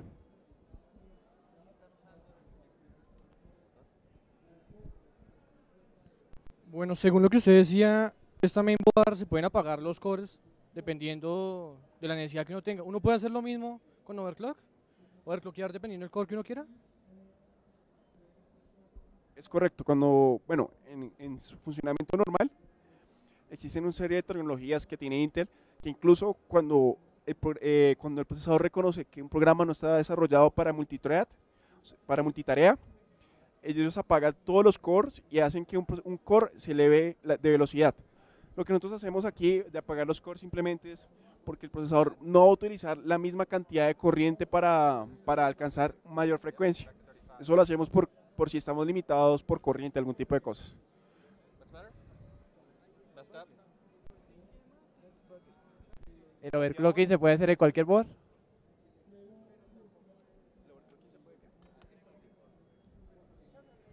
Bueno, acá nos preguntan que si el overclocking se puede hacer en cualquier board. Es una pregunta difícil de resolver. En primera instancia yo diría que un 80% de las boards son capaces de hacer overclock. Eh, lo importante es que la board esté libre y que se puedan mo- modificar parámetros como lo son el voltaje y las frecuencias. All right, si se pueden modificar esos tipos de valores, 5.9. se puede hacer overclock. ¿Alguno tiene alguna pregunta? Not, not too cold, not too cold, we'll bug out. Okay. Bugged out. ah, It's a temperature down. bugging it out. All right, so actually, what we're seeing right now is the machine stability. It seems like the temperature, as we're passing 160 on this board, we're at 160 below zero. As we pass 155, 160, it's what's causing the blue screen of death. So right now, we're going to try to keep it just a little bit below that so we don't BSOD. Al parecer tenemos un problema con el frío en esta board. Cuando pasamos cerca de 167 grados centígrados, eh, nos saca pantalla azul. Entonces tenemos que estar un poquito por debajo para que no suceda esto. Nos toca controlar la board. Perdón, nos toca controlar el suministro de nitrógeno que estamos aplicando al procesador.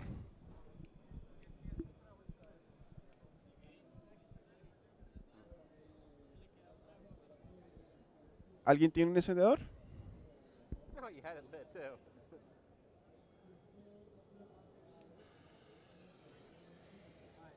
Yeah, don't hit that monitor.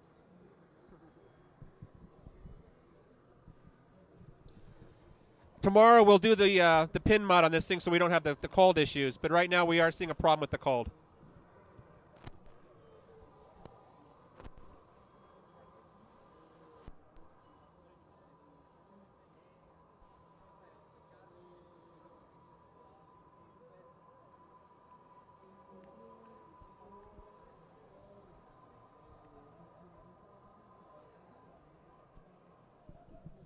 So if he keeps the temperature down, we should see like 6'1", 6'2", 6'3". Let's see if he can get it out there. No, the temperature. If he keeps the temperature down like to 150 or 140, I'm gonna, I think he'll get like to 6'1", 6'2", 6'3". Ok, sí. Si mantenemos un poquito baja la temperatura, es posible que alcancemos frecuencias de 6.3. This chip will do 6'5".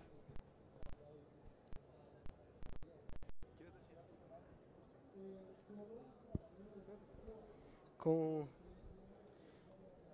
Codebug, a temperatura do Codebug varia com os settings. É, conforme nós mudamos a voltagem, o Ancor, as memórias, a temperatura do Codebug também varia. E a temperatura do Codeboot da placa-mãe também varia. É, por isso a gente precisa descobrir o ponto bom, que não é uma coisa que é, a gente descobre assim num palco. É, a gente tem que estudar bastante. Tenemos que dedicar bastante tiempo identificando las temperaturas en cual el procesador se rehúsa a, a- a funcionar. Don't go over 150.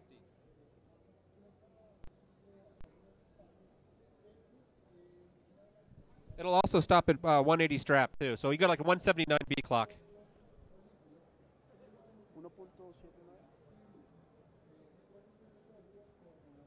Yeah. Don't you don't even need to pour it no more. Don't even pour it. Just go up.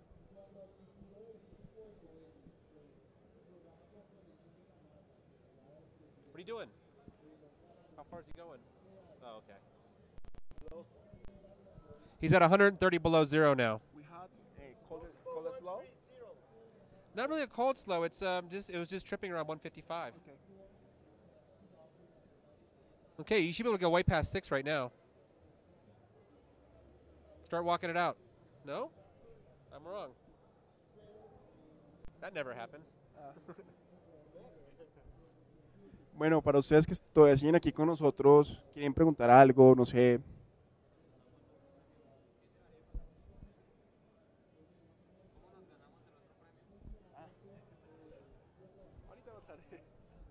¿Nadie tiene una pregunta? ¿Cone?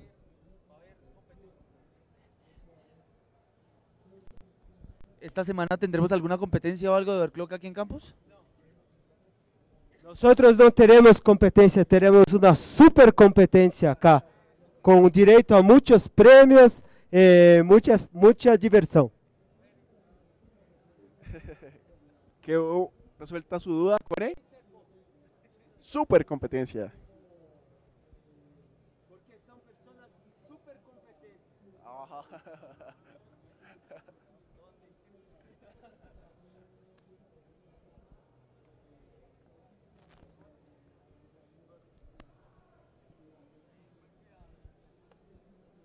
Bueno, saliéndome un poquito del tema del procesador, yo siempre, siempre tengo una pregunta en cuanto al overclock de tarjetas de video. ¿Qué hace uno para reducir artifacts sin necesidad de bajar eh, velocidades? O sea, eh, también voltaje. Exacto. Los artifacts suceden cuando la, el sistema de refrigeración de la tarjeta no es de capaz de disipar toda la potencia que está entregando. Entonces a partir de este punto comienzan a salir como unas, bueno, artifacts, sí. Entonces, ¿qué debe hacer uno para que no ocurra este tipo de fenómeno? Simplemente mejorar el sistema de refrigeración de su tarjeta. Puede ser tan fácil como simplemente colocar un fan sobre ella hasta cambiar el cooler convencional a uno mejor o mudarse a water cooling o a, o a métodos de refrigeración más extrema. Pero en primer punto es porque la tarjeta, perdón, el sistema de refrigeración no es capaz de disipar el calor generado.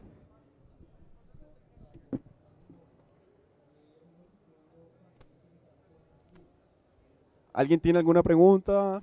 Aprovechen.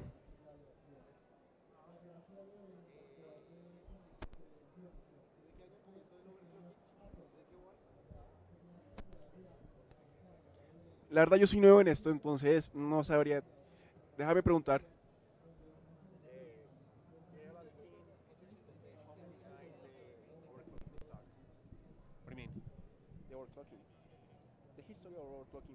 It started or something. Um, it actually started somewhere around the 286, I believe. The first overclocking functions we had was uh, we could actually buy a 33 megahertz chip, a 50 megahertz chip, and a 75 megahertz chip, and a 66 megahertz chip. But we figured out that we could actually take a little jumper on the system board and jumper over to the higher chip without changing chips. So that was like the early overclocking. Entonces él habla más o menos de una época de 1996 cuando teníamos unas máquinas, eh, creo que eran Pentiums o los primeros 486, cuando no oprimían el botoncito de turbo. Entonces yo creo que de a partir de ahí comenzó el overclocking. Y que también cambiaban unos jumpers que hacían que cambiaran la, la- la frecuencia. Exacto. Entonces es una técnica ya de 14 años. Then on the on sorry. ¿En qué año? 1996. Ah, los campeonatos y este tipo de cosas. Esto, bueno, el- los campeonatos y este tipo de, de eventos alrededor del overclocking es algo realmente nuevo. Yo puedo decir que a partir del 2007, 2008 es una es como una nueva cultura que se está creando, una nueva forma de, de hobby. Also, back when we were doing the small jumpers on the 286, we were actually doing an overclock on the Apple computers the same way.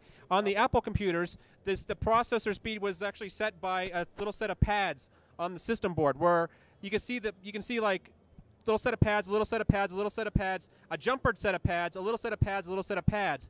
By moving that jumper around, we could actually adjust the frequency on the Apple computers very early. Entonces dice que no solo en los computadores de escritorio convencionales, PCs, sino que también los Apple, eh, donde habían una serie de jumpers en los cuales modificábamos la configuración que estaban y cambiábamos la frecuencia.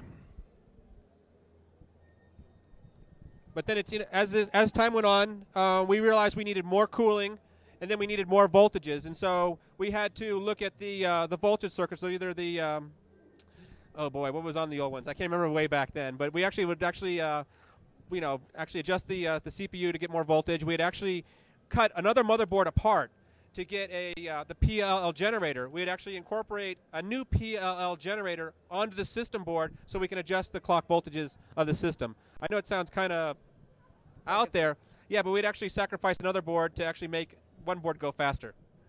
Nos dice que también unas técnicas bastante raras de hacer overclock era que sacrificábamos una board que se dejaba modificar voltajes, utilizábamos solo una parte que encargada de generar el voltaje y la adicionábamos a otra.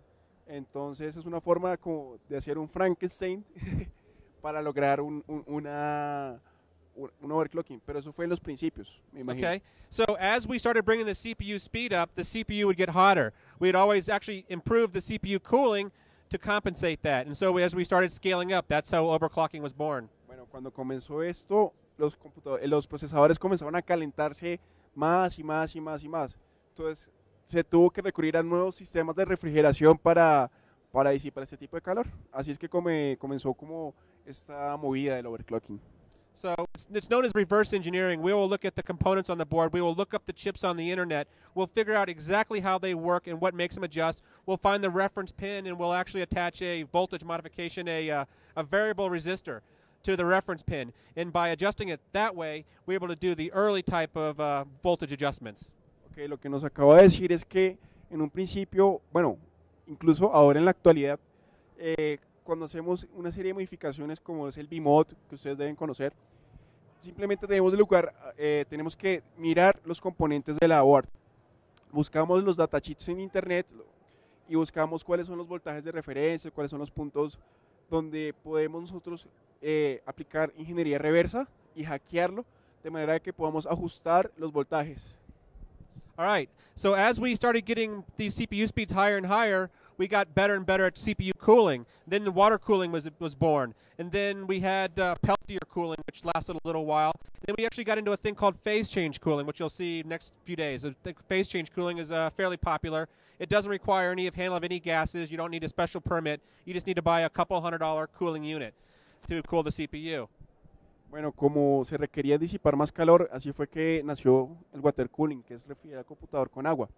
Después se pasó algo que se llama cambio de fase, que no necesita utilizar gases así y que no necesita gastar porque no se, o sea, no se van a evaporar, no se van a evaporar, van a estar recirculando. Entonces, en los próximos días van a ver ejemplos de ese tipos de refrigeración que son un sistema cerrado en el cual se hace compresión de gases y pueden mantener temperaturas por debajo de menos 40 grados. All right. So now, as as the manufacturers started seeing these adjustments and these these different things we were doing with the PLL and the voltages, the manufacturers actually started to incorporate these into the system board, so we don't have to do this anymore. Lo que nos comentaba en un principio de que teníamos que sacar el PLL de una board para, para ajustar voltajes en otra, los fabricantes simplemente están buscando nuevas formas de que nosotros no tengamos que hackear ese tipo de sistemas y que ya lo podamos hacer vía hardware. So almost all the BIOS settings you see in this current BIOS of the CPU adjustments, all the PLL adjustments, the reference adjustments, none of that was available in the past. That's only because of what we did and what the manufacturers saw us doing is they gave us access to in the BIOS. Que todos los parámetros que ustedes ven en la BIOS, esas cosas no existían en el pasado. Simplemente hasta hace poco co- comenzaron a agregarse porque nosotros hacíamos un requerimiento de ese tipo de necesidades, de ajustar cualquier parámetro importante. And the, as far as the rebooting, the, re, the testing of each of the settings, this is very typical of what we do with overclocking. Um, it's quite tedious. It takes a lot of time. You got to go into the benchmark. You got to test each setting. Make sure you're getting faster and faster and faster. Note the settings that you're making, and actually, you know, try for the benchmark or try for the world record, whatever you're working on. You lost it. Okay, no problem. But uh, yeah, let me repeat it again. This is this basically this is what we go through every time. This is very typical. The, the reboots, the troubleshooting, the figuring it out. Ah, bueno, que esto pasa, es casi siempre, es algo típico del overclocking, que cada rato estamos arrancando, corremos un test y se reinicia. Entonces es, una, es, una, es, un, es algo aburrido para algunos, pero para nosotros es aburrido, pero cuando logramos un récord mundial es el clímax, es lo máximo. So putting all of that all together, it all comes down now to one button on the system board, which Ronaldo could have pushed like an hour ago, and we would have been done. What? The OC Guru. Don't do it now, but he lo- he loses the settings if you do that. So all the all, OC Genie. OC Genie. Yeah. So the OC Genie works extremely well. It only takes a second, and uh, just turn your computer on, and it goes right to work. We can try. Yeah, Yeah, we can try after he's done. Okay. Yeah, fairly simple. And uh, I'm gonna. s- if This is a 3.3 gigahertz processor. I'm gonna guess that it's gonna take the processor to 3.85. 3.85. 500 megahertz gain. Lo que nos dijo es que estaba como pensando que Ronaldo no es un buen overclocker y deberíamos oprimir este botón que lo reemplazaría él. Entonces, es más fácil, ¿cierto? Eh, él piensa que podemos llegar a una frecuencia de cuánto? I think it's gonna go to about 3.8. 3.85. que este procesador de 3.3 GHz podemos alcanzar una frecuencia de 3.8, o sea, 500 MHz de ganancia. La verdad yo creo que puede ir más grande. Okay. It can reach more frequency depending on the cooling. So with the pod on there, it might go above 3.8. Um, what this, what the OC Genie is going to look at, it'll look at the memory, what the memory is capable of. It's called XMP. Um, it'll also take a look at the uh, the video card and also its other little small settings to see what the CPU and the bus can handle. It'll bring a lot of the settings up automatically. Safely. Eh, lo que hace este sistema de tecno- esta tecnología es, es testear componente por componente y buscar la- lo, lo máximo que puede alcanzar. Entonces, realmente como está limitado por varios factores, no es posible alcanzar una frecuencia. La verdad yo creo que puede ir más alto. Ok, vamos a intentarlo de nuevo. Esta vez un world record. Não, longe. Tá lejos do recorde. Estamos lejos del récord. ¿Por qué? Não sei. Tenemos que cambiar de overclocker. Yo creo que queríamos cambiar a Fuger. ¿Ustedes qué dicen? ¿Sí? ¿Cambiamos a Ronaldo? ¿Sí? ¿No? Sí, cambiémoslo. Fuger. That's it? Yeah. Do I want to what? No, he's driving today. I'll drive ah. tomorrow. Ah, All right. Also, let's go back to one of these guys here. I don't know if anybody's actually seen these down in South America very much, but you can find these in laptops mostly. These solid state hard drives are much faster than the conventional hard drive. The big hard drive you had before, the spinning hard drive, they transfer about 30 to 40 megs per second. Um, so this will transfer about 200 megs per second. That's a five times gain. So when you're gaming and you want to load your map faster, or you're playing World of Warcraft and you want to get through zones faster or travel faster, you definitely want to pick this up. Um, cost wise, roughly $200, and uh, the gain wise, five times performance and you know the stuff loading on your your game. Que nos dijo son las cualidades de los discos de estado sólido. Nos hace una comparativa entre los discos de antes, que son los discos mecánicos que nosotros, la mayoría de nosotros tenemos acá. No si pocos tienen unos discos de estado sólido.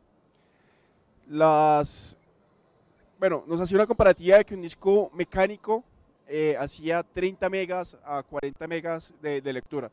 Con estos discos podemos lograr eh, velocidades de lectura de cerca de 200 me- eh, megabytes, lo que es más o menos 5 veces más rápido. Entonces en juegos o en, en- en programas que dependan mucho en la carga de, de- de- de datos o este tipo de cosas, eh, van a correr mucho mejor. So once you have your fast hard drive and your system overclocked, you'll become known as a spawn killer. Um, because I can get to your spawn before you spawn, and before you see your first screen, I'm already aiming at your head and shooting you. Spawn killer. Yeah, where, when you when you load in the game, a spawn killer. Él estaba hablando de, por ejemplo, cuando estamos jugando, y nosotros hacemos respawn, o sea, aquí lo podemos decir cuando nacemos. Entonces, lo que hace es reducir ese tiempo en el que nosotros hacemos respawn y evitar que nos maten. Because these two computers are different speeds. One computer's really slow, this computer's really fast. They talk to the server at the same speed. The server tells this computer that that guy's in the game. Even though you're not in the game yet, your computer already knows. Entonces hace una comparativa entre un computador que es lento y un computador rápido. Cuando está conectado a un servidor, le da más probabilidad al computador rápido y el que está jugando en ese computador va a tener mejor, mejor desempeño en el juego. And the last thing, yeah, I'm going to repeat it again, but the last thing is where this really, really, really helps. I'm going to use Battlefield 2 for an example. Um, I'm a, I, I, I fly the gunship myself. I'm a gunner. I shoot the TV missile. I can shoot it all the way around the backside of my ship and shoot, and shoot down jets. Um, I can actually load the game, get in game, get in my vehicle, and have to wait for my pilot. Or I can get in a Jeep, I can go all the way across the map to the far spawn point. I can become a squad leader, and my squad can spawn on me on the far side of the map before anybody else loads. que él habla de las cualidades del disco de estado sólido y da una experiencia en el juego Battlefield, eh, Battlefield 2 que él puede, pues como tiene una mejor máquina, un mejor disco, se puede conectar más rápido al servidor y se loguea más rápido en el juego, se puede ir al spot del enemigo, hacer, ser el líder del equipo y los compañeros de equipo hacen respawn en él. Entonces es una buena estrategia de jugar. O sea, da un buen desempeño y un- da cierta eh, ventaja sobre los demás. This also applies to Quake and the other games as well too.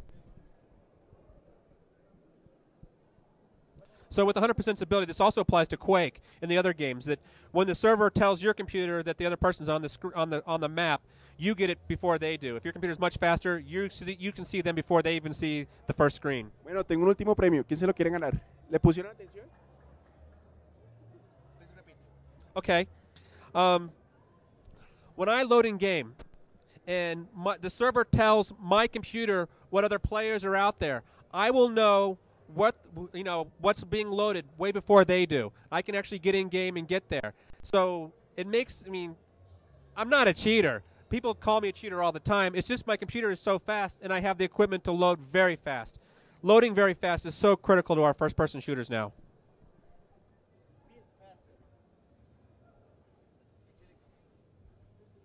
Bueno, lo que lo que quiere decir es que él lo que quiere decir es que al él tener unos mejores componentes en su equipo, él puede cargar el juego antes de que los enemigos lo carguen, por lo cual él, los puede incluso matar antes de que ellos sepan que han aparecido.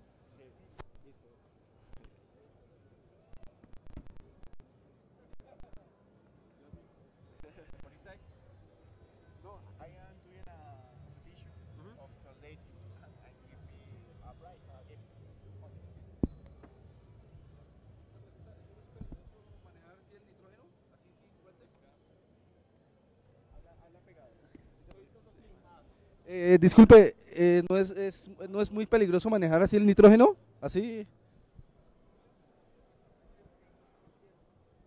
Ah, sí, bueno. Aquí nos remontamos.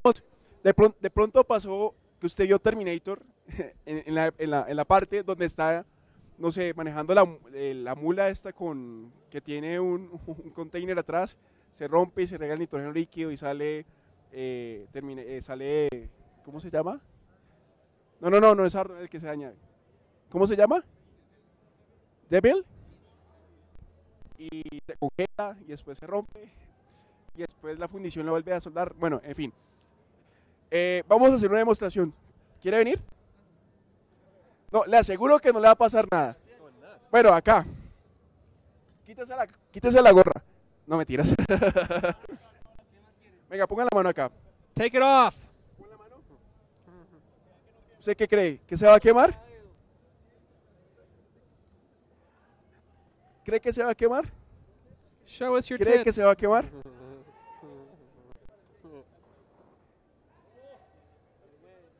El nitrógeno líquido se evapora a menos 196 grados. Nosotros estamos a una temperatura de 36 grados más o menos. Si el, evap- si el nitrógeno se evapora a menos 196 You're right grados, that, se va a evaporar casi inmediatamente antes de, de tocar la piel. ¿Quiere probar? spawn killer. Venga. No, en serio, venga. Au. No, no, no, no. No, no, no, no, no. Lo necesitamos para hacer overclock.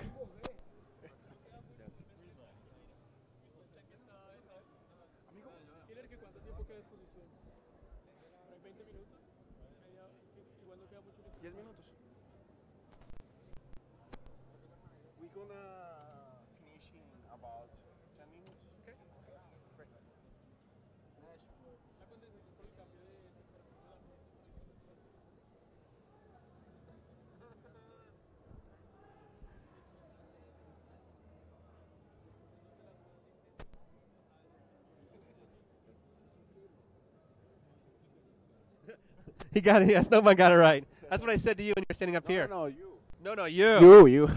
You're the sexy one. No, Get no, up no, here. no. Eh, alguien aquí en los foros posteó que deberíamos hacer un striptease y mostrar nuestras... Bueno, en fin. No, no, no, no, no. All right, so Ronaldo's reset back up again. Our boss. What are you at, our boss? You at six? Good. No. No? Yes. No. Check. Let's check it. Disculpa, ¿pueden retirarse un poquito de ahí para mostrar una cosa, amigo? Aquí en esa All pantalla... right, so he's only at Qué pena, amigo, uh, walking it up. Aquí still. estamos mostrando la frecuencia que está el procesador en este momento. ¿Será que pueden correr un poquito ahí se están grabando? Estamos en este momento 5.8 a 5835. 585. 59. 5.9.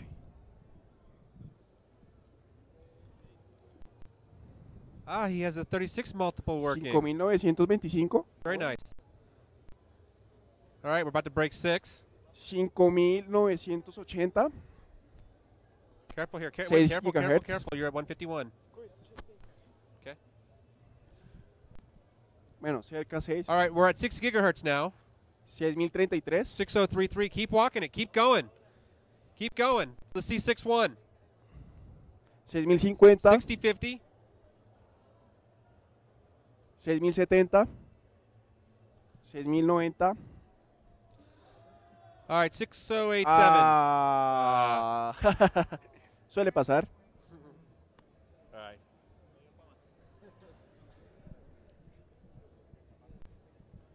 Ok, yo creo que ya estamos por terminar. Eh, vamos a seguir probando la placa después, pero vamos a finalizar pues ya la, ya la conferencia, el show se ha extendido cerca de dos horas. Entonces les agradecemos por su amable asistencia, muchas gracias, esperamos verlos mañana, bueno. Hasta luego, muchas gracias. Gracias. Thank you, everyone. Gracias. Gracias. Sí. Nueve y media, igual. That's about it for us tonight. Uh, we'll probably sit around and mess around just a little bit lighter. You want to keep benching? I want to break the board down and uh, dry it out. I want it good for tomorrow. What's that? Um, yeah, you know it. All right. Uh, no, no French fries. Uh, I think we're going to the strip club tonight, and then uh, we're. oop, I'm sorry. Just kidding there. no, um, I don't want to. I mean, I want to dry the board out and uh, let it you know, get ready for tomorrow. I, I want to. I know. You want to I want to. Uh, I want to do the mods on that board as well too. I want to pop the uh, the. Uh, co- no, I want to pop the uh, cold bug mod on it, or I just or cut the pin out. One or the other. I'm gonna cut the pin. No.